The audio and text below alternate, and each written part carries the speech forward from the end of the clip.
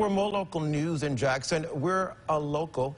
author is bringing awareness to how broken family structures can impact a home. Author Willie Ely met with readers at the Barnes & Noble in Ridgeland for a discussion and a book signing of her new book called Me Daddy. Now, Ely's inspiration behind the book is her collected life experiences as a daughter, mother, and being an educator. Her students often share situations they were going through.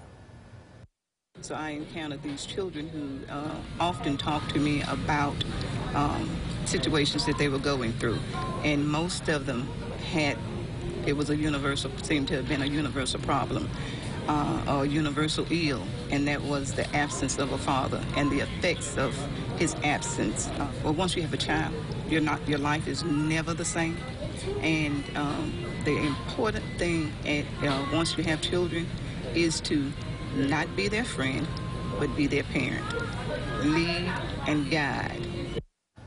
Her book addresses the issues of single parenthood and instilling structure while navigating the trials of everyday life.